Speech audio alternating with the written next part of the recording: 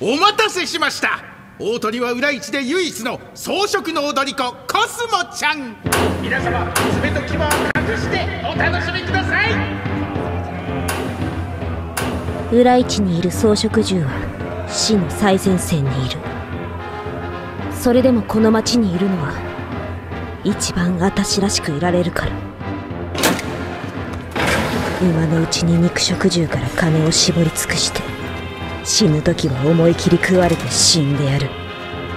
さあ獣たちお待ちどうさま。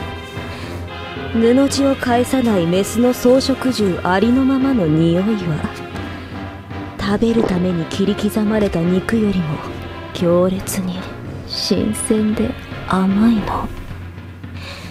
食欲性欲の混沌を私がかき混ぜてあげる。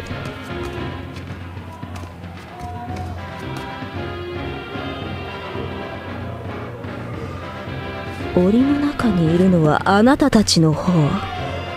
ここの支配者は私よ。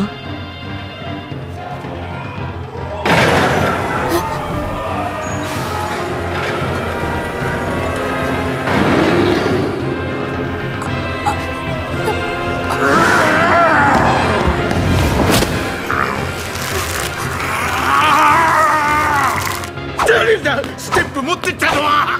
そっか今日だったか。私の最後は。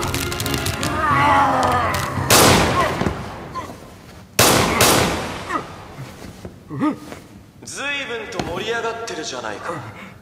だが舞台の上は神聖な場所だ。ステージを邪魔する無作法な輩に。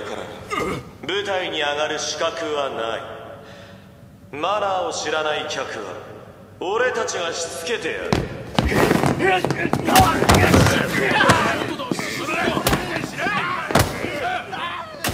大丈夫か？なんで草食獣がこんなとこいんの？私が一番嫌いなのはね私を食べたがる肉食獣なんかじゃない。本気で哀れんでくる肉食の客と冷やかして見に来る草食の客よぼーっとしてたらあんたも食われるよ子供は家帰って寝てな！ボス。